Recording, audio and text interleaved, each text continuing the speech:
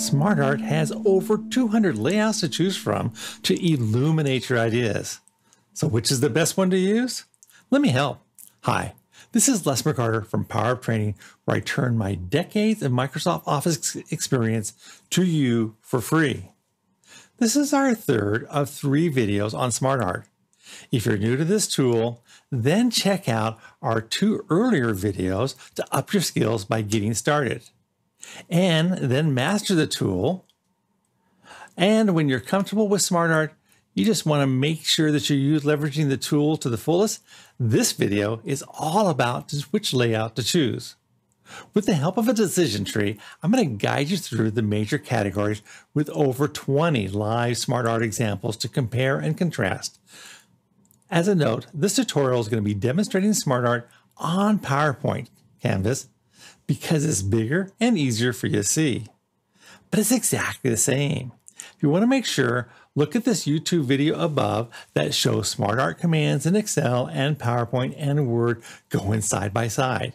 You'll learn it once and use SmartArt everywhere in Microsoft Office. So let's dive in and explore how best to use SmartArt. Here's what is going to happen.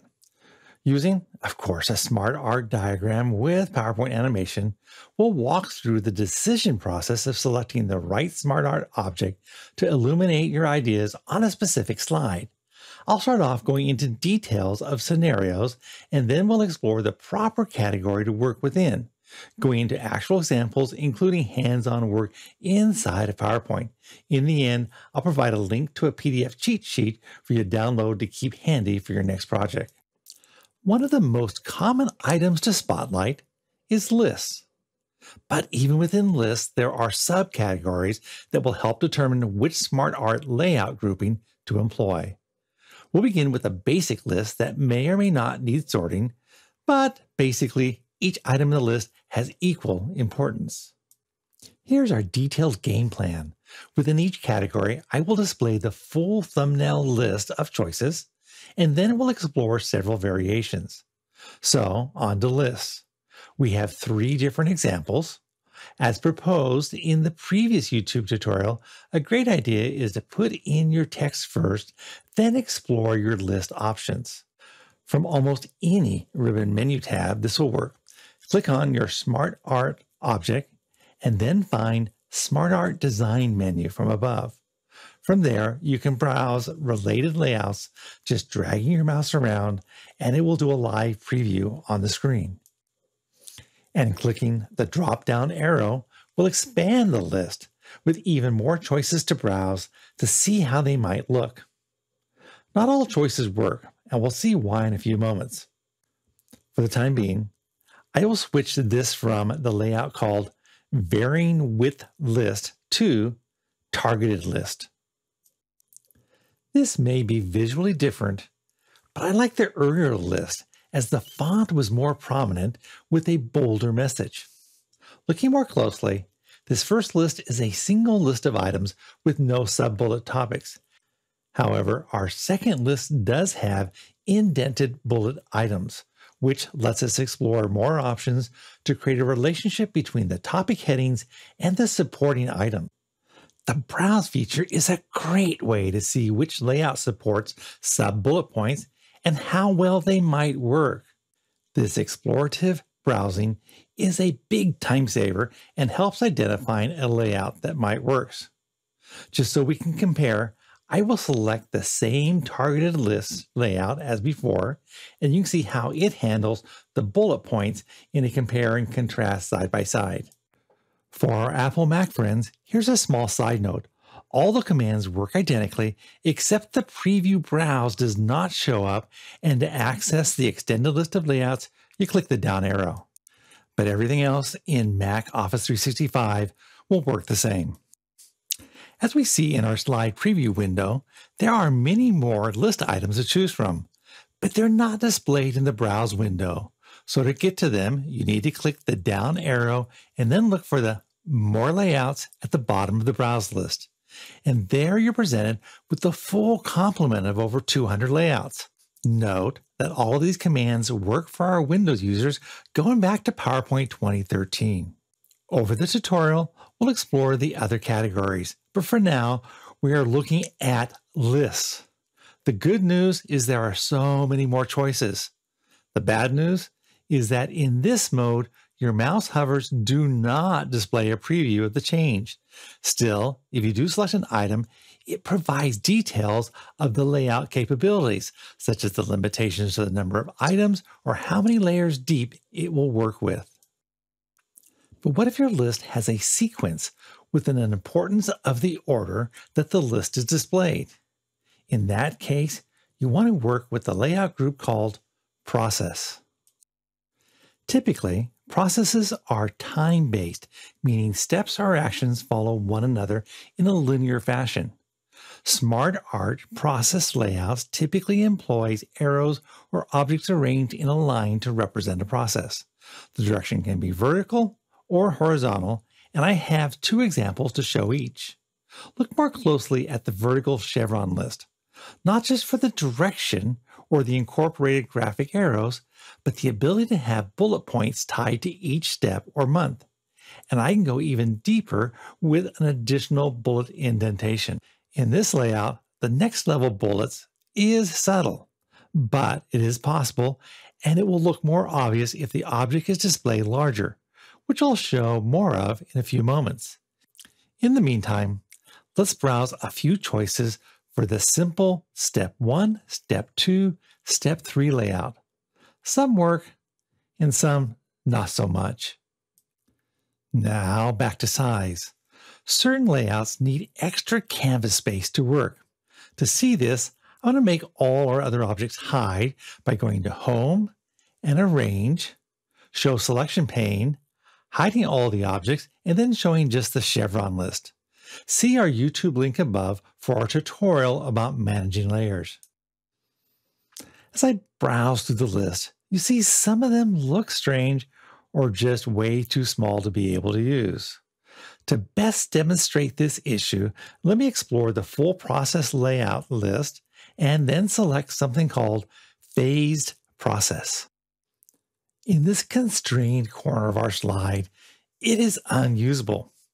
But if I stretch it out, the concept becomes more clear with the groupings of indented bullet points as bubbles arranged by month with parenthesis separators. It's kind of cool. Now, back to the decision tree and to complete the list category. If it's just a laundry list of items, then stick with list. But if the items interact, there are other choices. Should the individual items interact to the whole, then check out matrix category. And if they have direct interactions with each other, then explore relationship. Relationship layouts typically work best if small number of elements interact with each other, such as our counterbalance example of just two items that are yin and yang in nature, or the basic Venn diagram that nicely accommodates three, four, or sometimes five items, or even extending the equation layout. On the other hand, the gear is stuck at three items. So you need to experiment and remember, make sure the layout matches your goal. Don't pick something just because it's pretty. The matrix is a type of relationship that shows parts making up a whole. There are only four choices, and there are typically just four elements in each possibly a fifth for a title, and mostly not accepting multiple layers as bullet ideas.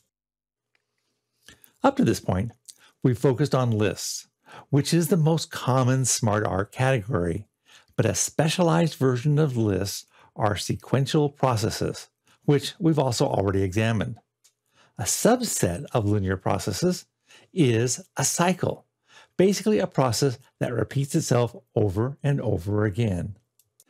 This smaller collection of cycle process choices typically uses arrows to indicate the next step, and the last step points back again to the first. Typically, you're limited to the number of items, and few have the ability to include bullet points.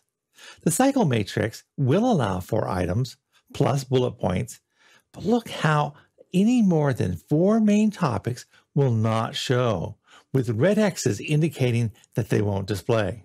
That's the limitation of this specific one.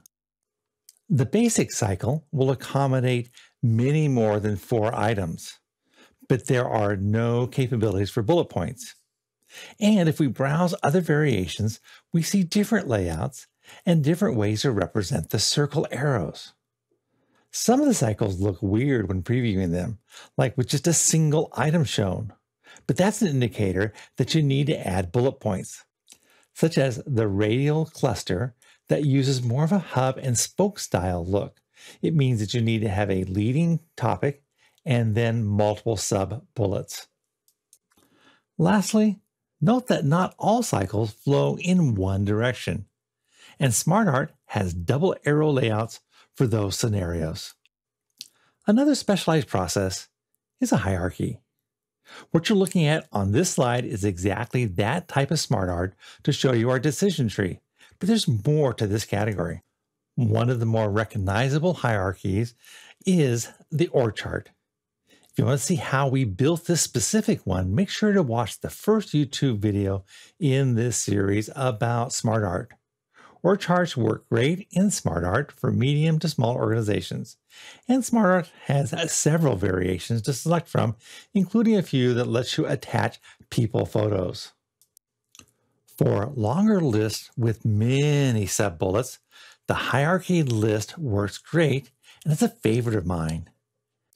And then there are the very specialized layouts like the horizontal labeled hierarchy, where you need to play around with the headings and the bullet levels to get it to work just right. But you can be extremely effective for specific, almost swim lane like process flow diagramming. Our decision tree shows the relationship as a top choice.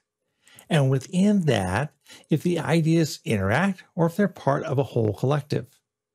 We've already looked at both of these categories.